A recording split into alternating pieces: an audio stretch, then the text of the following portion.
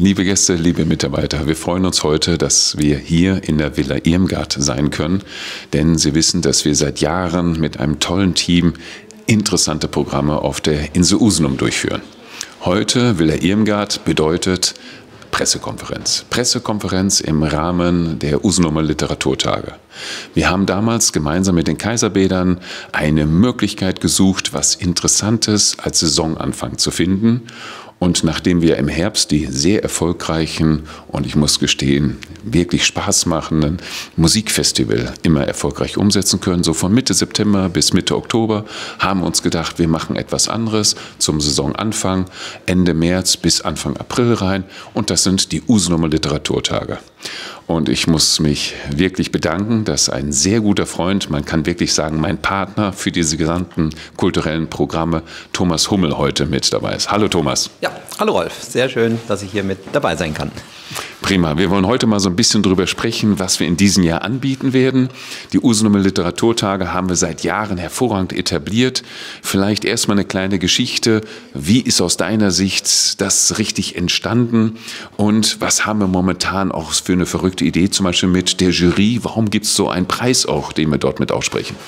Ja, genau. Am Anfang hatten wir auch äh, Musik und Lesung beim Usedauer Musikfestival immer im September, Oktober. Und dann haben wir auch gedacht, Mensch, das sind so spannende Projekte, die können wir auch auch mal separat in einem eigenen Festivalformat vorstellen. Und das haben wir dann gesagt, wir machen das dann im Frühjahr, im äh, April, Mai und ja, in diesem Jahr sind wir vom 3. bis 6. Mai am Start und am 27. und 28. Mai. Also wir haben es ein bisschen aufgeteilt und wir haben natürlich sagenhafte Leute hier mit dabei. Die Nobelpreisträgerin Olga Tokarczuk aus Polen wird extra zu uns reisen und zum ersten Mal ihr neues Buch Impulsion vorstellen, hier dem deutschen Publikum auf einer deutsch-polnischen Insel. Das wird bestimmt sehr spannend.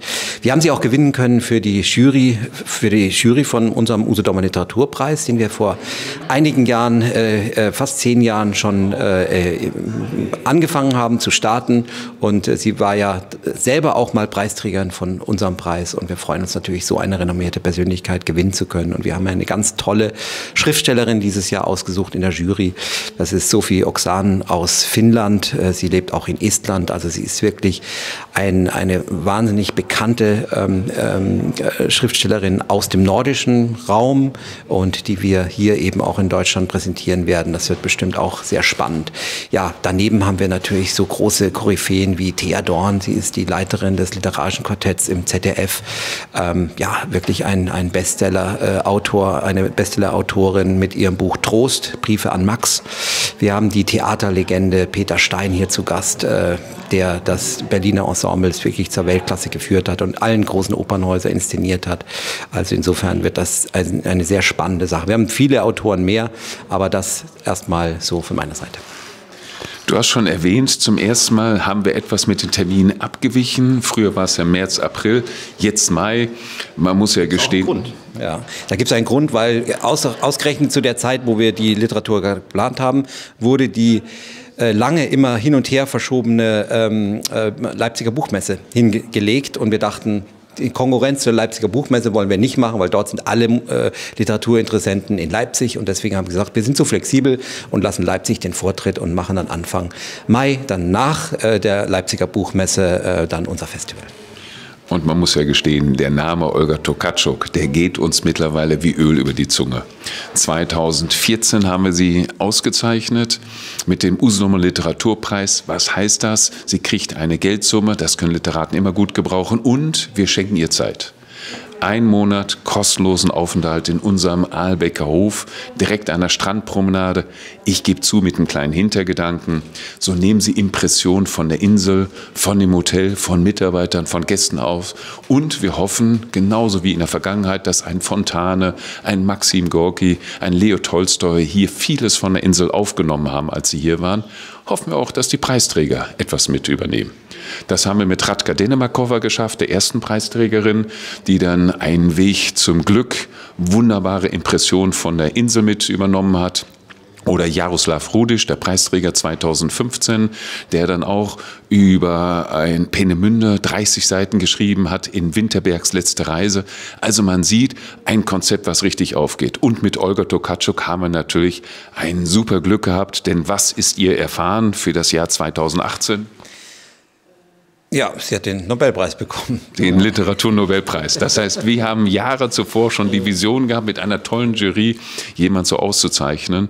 Und in der Jury haben wir sie jetzt auch gewinnen können. Das heißt, immer die Preisträger in diesem Jahr werden von Manfred Osten, von Andreas, Dr. Andreas Kossert mit ausgesucht und sie ist mit in der Jury drin. Da geht es richtig immer darum, dass wir etwas mit Grenzthemen besprechen und dass wir natürlich Leuchttürme setzen, die auch in der Zukunft bei uns bekannt werden, aber natürlich ein Aushängeschild für die Region sind. In diesem Jahr, wir haben noch weiter Peter Stein dort, Christopher Clark, also auch interessante Persönlichkeiten und wir freuen uns diesmal mit einem besonderen Programm.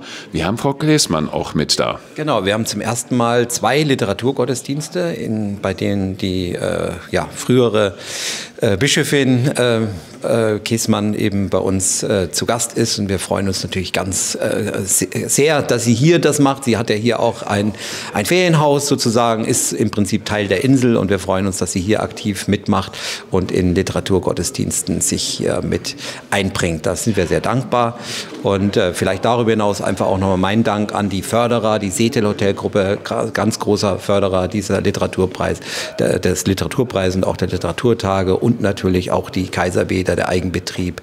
Und ganz herzlichen Dank an äh, die Bürgermeisterin, Frau Laura, Laura Marisken und natürlich den ähm, äh, Herrn Heilmann, den äh, Kurdirektor. Cool. Also wir freuen uns sehr über diese große Unterstützung.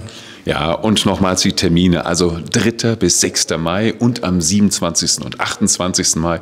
Um solche Persönlichkeiten hinzukriegen, mussten wir das jetzt auch mal auf zwei Termine legen. Aber ich bin sicher, für jeden ist etwas dabei. Also unbedingt vorbeikommen. Die Insel hat wieder Tolles zu bieten. Thomas, vielen Dank. Erfolgreiche Tage. Vielen Dank. Herzlich Ciao. willkommen. Thank you.